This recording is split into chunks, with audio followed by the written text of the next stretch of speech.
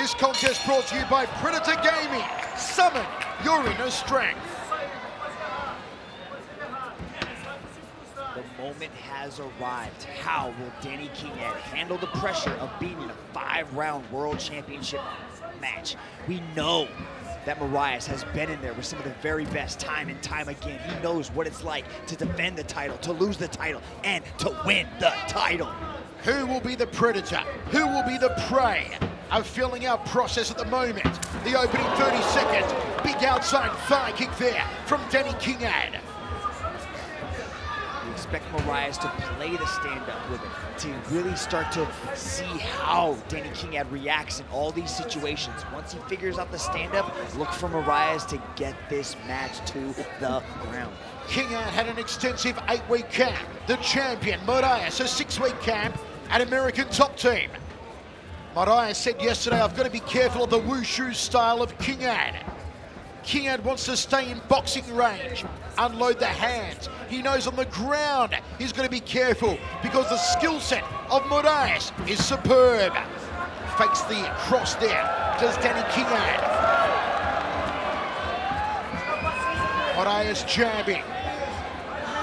Such a phenomenal all-round performance to capture the title against Akhmatov in Macau in August. And if Kingad wins tonight, this place will go into a frenzy that won't stop. Outside leg kick again there from Danny Kingad. Can you imagine if one championship has three Filipino world champions, Vera, Folayang, Kingad, just see them just sort of figuring each other out right now. Lots of respect shown by both these martial artists. They're just kind of seeing how each other reacts. When I throw a leg kick, what do you do? When I throw the jab, how are you reacting to it?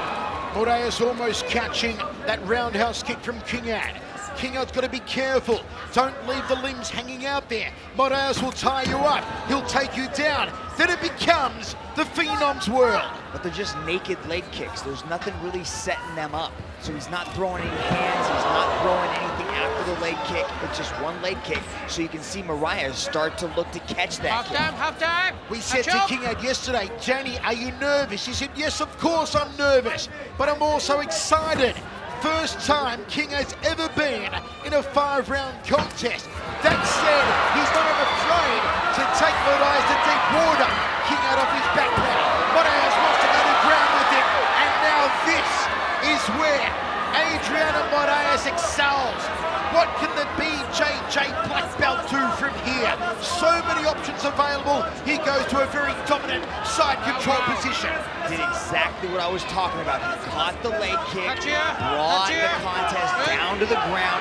See how he's controlling that? He's kind of just setting that right leg in between the legs so he gets perfect control of the side No control press. position No here. press. Now he's got the head under the hand, the left hand under the arm. Good job by Kingad to get back into side control. No tag back. Half guard position for the Watch champion. out. Yeah, half guard. No tag back. Touch here. Touch here. Trying to keep him there. Will Moraes look to take that right leg out and pass to side control. One minute 20 remaining, first round. A lot of feeling out, a lot of dipping the toes in the proverbial water. But now we're on the ground. We're seeing more aggression from the champion. This first exchange on the ground is going to tell us a lot. We're going to be able to see how Danny Kingad escapes from this bottom position, from a bad position. What do you mean? He's got 60 seconds to either survive or get back up to his feet. Moraes now north-south position. Dangerous for Kingad. Scoots around. The Brazilian champion's going to take the back. Kingad goes turtle shell. Can Moraes get the hooks in? He's working for them. He's going to try and stretch him out. He's going to try and flatten him out. He's going to try and go for a rear naked choke. Kingad's got to defend the left arm. He's got to defend that left arm. He's got 30 seconds. As long as he controls that left arm. Look, look at Moraes trying to sneak it under the chin. Moraes closes the figure four around the body. That's going to affect the breathing. Here comes Moraes. Kingad in trouble. In trouble. In trouble.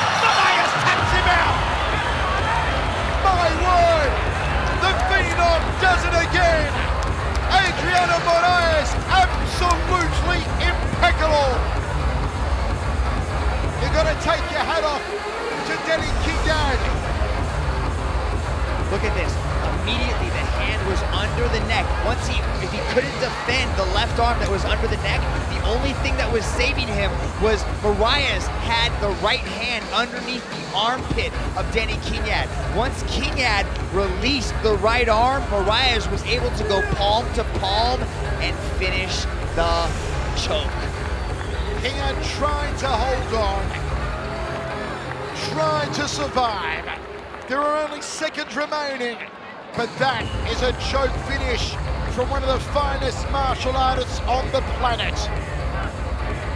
He truly is a phenom. Adriano Moraes retains the strap. To present the Predator Triton 700 Gaming Laptop Prize for this match, we have the Ice Monsters of Predator Gaming. And now, ladies and gentlemen, your referee, Mr. Yuji Shimada, has put a stop to this contest after 4 minutes and 45 seconds in the first round for your winner by way of rear naked choke and still one flyweight world champion, Adriano Moraes.